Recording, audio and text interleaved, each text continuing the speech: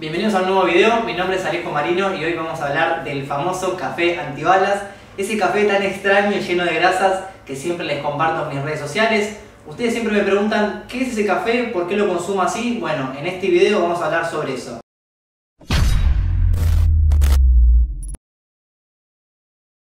El café antibalas nace con David Asprey en Estados Unidos en el 2014, está patentado por él.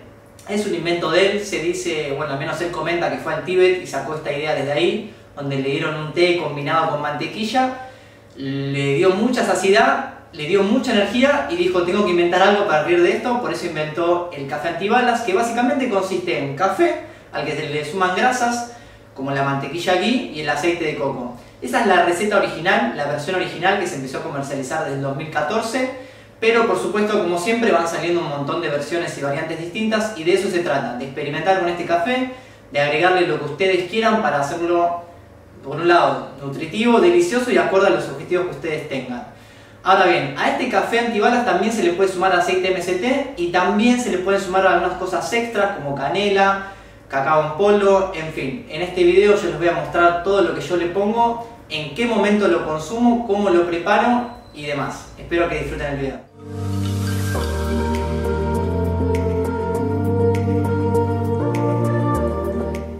De adentrarnos en el café antibalas, empecemos por lo primero, por lo más importante, y es qué café deberíamos consumir. Bueno, les quiero compartir algunos consejos a la hora de seleccionar, de elegir algún café, alguna marca en particular. Lo primero, lo más importante, compren café tostado, no torrado porque tiene azúcar y además de otros procesos. Por eso mi recomendación es que siempre elijan café tostado. Ese es el consejo número uno. El consejo número dos, si tienen la posibilidad, compren café en grano. Por supuesto, van a tener que comprar un molinillo o algún electrométrico que les permita moler el café, pero al molerlo en el momento, el aroma, la intensidad cambia completamente es mucho más rico el café, se disfruta más y por eso les recomiendo comprarlo en grano. Y en último lugar, si tienen la posibilidad en donde ustedes viven, en caso de que no, no pasa nada, pero bueno, uno siempre trata de ir perfeccionando lo que consume, tratando de conseguir alimentos de mejor calidad, es que consigan café orgánico, que como todo lo orgánico va a ser libre de pesticidas y otras sustancias que por supuesto no queremos que ingresen en nuestro organismo.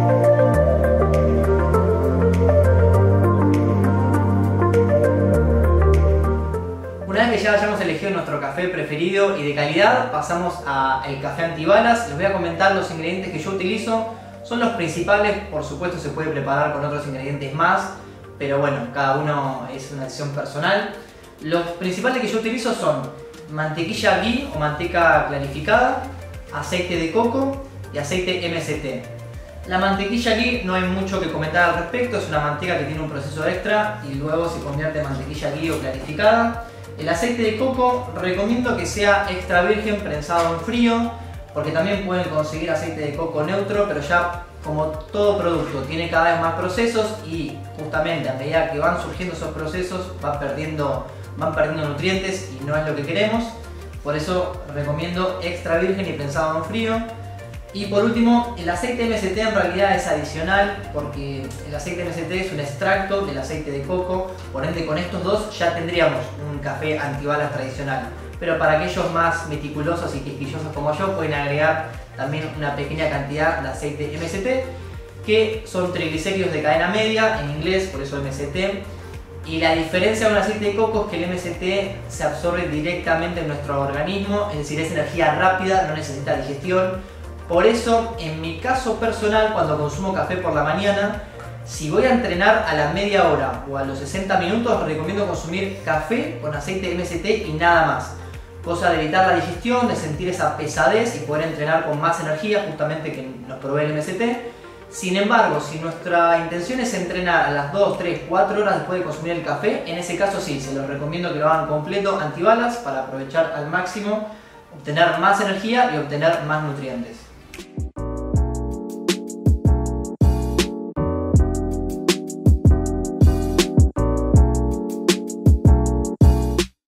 Sea que tengan el café molido o vayan a moler el café, yo recomiendo entre 15 y 20 gramos aproximadamente cada 250 mililitros de agua. Por supuesto, esto es a nivel personal. eh, es de mi preferencia, cada uno puede utilizar menos o más cantidad de cafeína. Va a depender muchísimo de la intensidad que quieran obtener, como así también de la tolerancia que ustedes mismos tengan respecto al consumo de café. Una vez que ya tenemos nuestro café recién molido o previamente molido y tenemos el agua a una temperatura acorde, que no hierva el agua, eso es importante, colocamos el café dentro de la prensa francesa, en caso de que ustedes utilicen el mismo artefacto que yo, en este caso como pueden ver es una prensa, y vamos a echar un poquito de agua que cura el café, lo vamos a dejar entre 20 y 30 segundos y recién ahí vamos a terminar de verter toda el agua aproximadamente luego de 5, 6, 7 minutos, a mayor cantidad de minutos que estemos reposando el agua dentro de la prensa con el café, más intenso, más fuerte va a salir el mismo, por eso también es a, preferencia, a gusto personal, que tan suave o que tan fuerte les guste consumir el café. Y una vez que haya pasado la cantidad de tiempo que necesitamos, pasamos a servir el café y ahora sí, lo más importante y lo que todos queremos saber es qué cantidad de aceites y de mantequilla ghee vamos a colocar dentro del café. Con respecto a los tres aceites, eh, a los dos aceites, perdón, la del de coco y el aceite MST y la mantequilla ghee, yo recomiendo empezar con una cucharadita pequeña, una cucharada de té, porque al ser grasas, este va a ser un café muy nutritivo pero muy pesado, por ende si nunca lo consumieron, recomiendo que sea una cucharadita de cada uno y con el paso del tiempo, dependiendo qué nutrientes quieran incorporar dentro de su alimentación, vayan añadiendo más cucharadas de cada uno. Todas formas, no recomendaría quizá más de dos o tres cucharaditas de té de cada uno, porque si no va a ser extremadamente fuerte y no es la idea. La idea es que sea nutritivo, pero que también podamos disfrutarlo.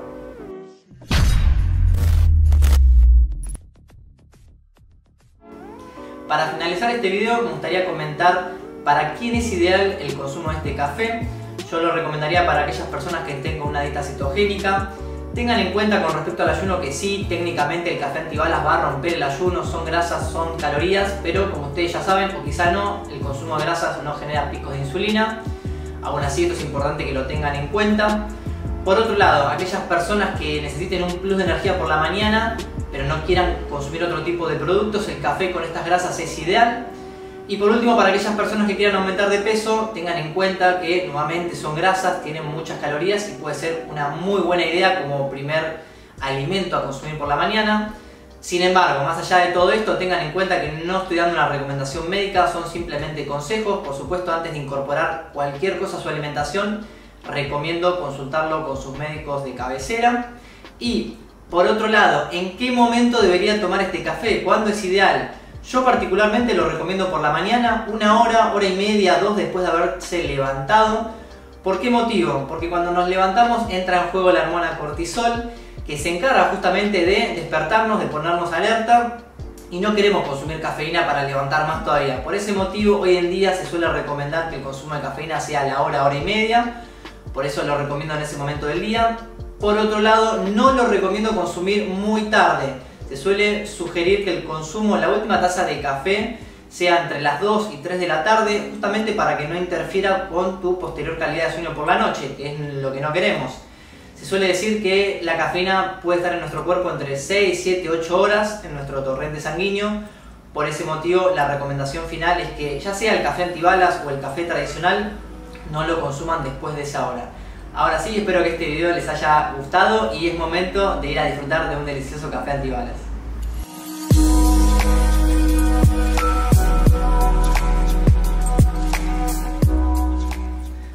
Espero que a ustedes les haya salido tan pero tan delicioso como a mí.